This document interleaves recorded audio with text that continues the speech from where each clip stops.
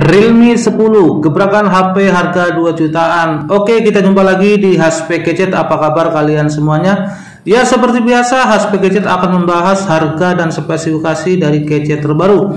Kali ini HP Gadget akan membahas harga dan spesifikasi dari gadget terbaru yaitu Realme 10 HP Realme 10 ini dijual di harga 2 jutaan namun mempunyai spesifikasi yang cukup gahar.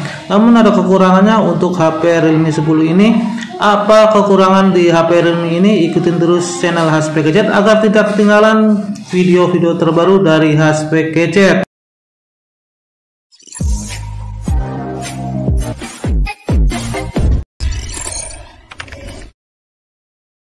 Lanjut kita langsung saja bahas mengenai Realme 10 Ya Realme 10 ini memang mempunyai spesifikasi yang bisa sangat diandalkan yang terutama Realme 10 ini sudah dibekali chipset yang bisa sangat diandalkan yaitu sudah menggunakan chipset balutan MediaTek Helio G99. Ya seperti apa videonya kita simak bareng-bareng dan jangan lupa tonton sampai usai. Realme 10 memang layak untuk kita miliki namun ada yang disayangkan sekali yaitu belum adanya NFC. Fitur yang ditawarkan oleh Realme 10 yaitu Super AMOLED untuk layarnya dan sudah didukung 90 Hz dan untuk touch samplingnya mencapai 360 dan untuk refresh rate-nya di 90 Hz. Dan kita lanjut untuk ukuran bodinya yaitu panjangnya mempunyai 159,9 mm dan lebarnya mempunyai 73,3 mm dan ketebalannya di 7,95 mm. Untuk berat bodinya itu 179 dan layarnya mempunyai 6,4 in panel AMOLED Full HD Plus tentunya dan juga sudah dilindungi Gorilla Glass 5. Untuk sisi bawahnya itu ada lubang jack audio 3,5 mili, lubang charger dan juga ada grill audio dan juga ada lubang mikrofon.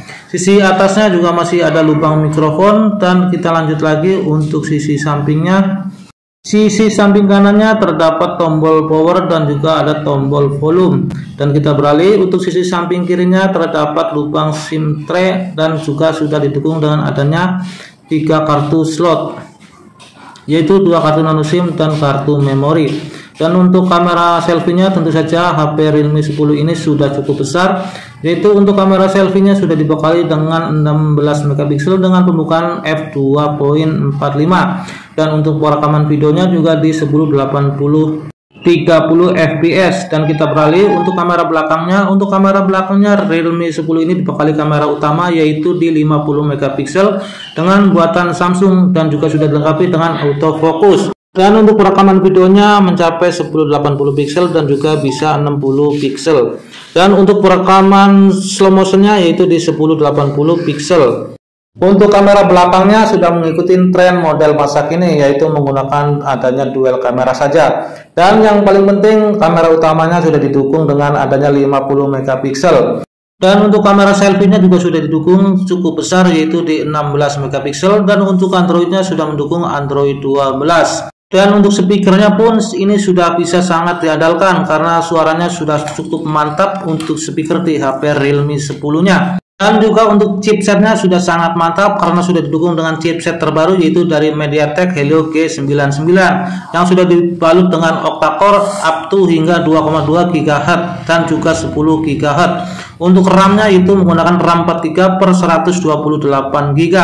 Untuk kamera belakangnya ini menjadi terlihat lebih cantik dan lebih menarik. Di Realme 10-nya yang dibanderol di harga 2,7 jutaan saja untuk RAM 4 GB-nya dan juga sudah didukung dengan baterai yang cukup awet yaitu 5000 mAh yang sudah didukung juga dengan 33 watt super fast charging tentunya ini cukup cepat untuk mengecas dari 0 hingga 100% kurang lebih satu jam lebih.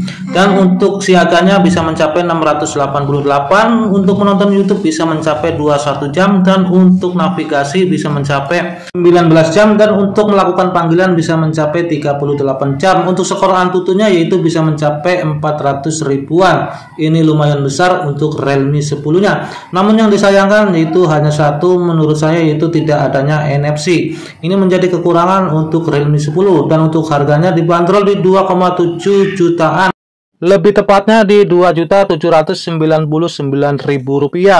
Semoga bermanfaat dan jangan lupa like video ini jika kalian suka video ini dan jangan lupa subscribe tentunya. Kesimpulannya HP Realme 10 ini sudah mendukung terutama untuk layarnya sudah didukung dengan layar AMOLED Kecepatan fast charging di 33 watt dan baterai cukup besar yaitu di 5000 mAh. Ini bisa bertahan untuk seharian dan masih banyak fitur-fitur lain yang ditawarkan oleh Realme 10 ini terutama untuk chipsetnya yaitu di Helio G99 yang sangat bisa diandalkan untuk bermain game. Dan sekian dulu video dari HP Gadget, semoga bermanfaat. Saya Arun Wijaya pamit undur diri. Dan jika kalian suka video ini, kalian boleh like dan subscribe. Dan jika tidak suka video ini, kalian boleh like saja. Dan kita jumpa lagi di video-video berikutnya. Assalamualaikum warahmatullahi wabarakatuh.